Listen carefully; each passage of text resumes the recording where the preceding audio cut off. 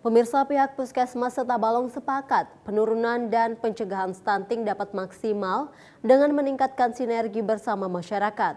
Hal tersebut diungkapkan pihak Puskesmas saat mengikuti diseminasi pengukuran dan publikasi stunting tahun 2022 yang digelar Dinas Kesehatan Tabalong. Stunting atau kondisi kurang gizi kronis yang menyebabkan pertumbuhan anak tidak optimal menjadi perhatian serius pemerintah pusat hingga ke daerah termasuk oleh pemerintah Kabupaten Tabalong.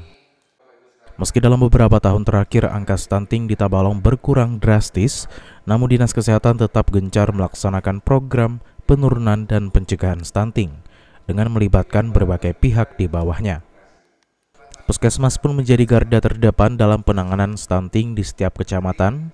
Namun pihak puskesmas sepakat penurunan stunting yang maksimal harus disertai peran aktif masyarakat Selain dari pihak tenaga kesehatan dan pemerintah, masyarakat juga berperan besar dalam penurunan dan pencegahan stunting.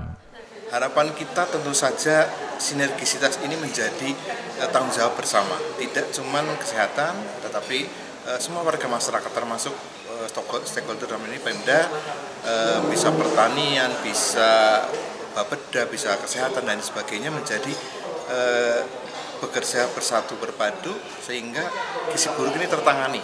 Minimal berkurang dan selanjutnya tidak ada karena kita cegah untuk yang berikut berikutnya. Uh, upaya tetap kita laksanakan ini berkaitan tetap ya kita apa berkaitan dengan perusahaan tersebut.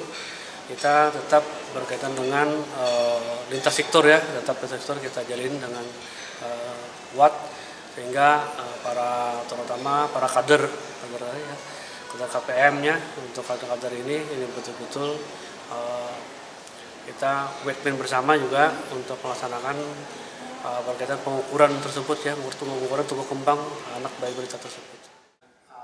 Pada kesempatan ini para peserta tidak hanya melaporkan data stunting di wilayah kerjanya saja, namun juga menyampaikan inovasi-inovasi yang sudah mereka lakukan dalam penanganan stunting, sehingga dapat memicu atau memotivasi puskesmas lainnya dalam bergerak menekan dan mencegah terjadinya stunting.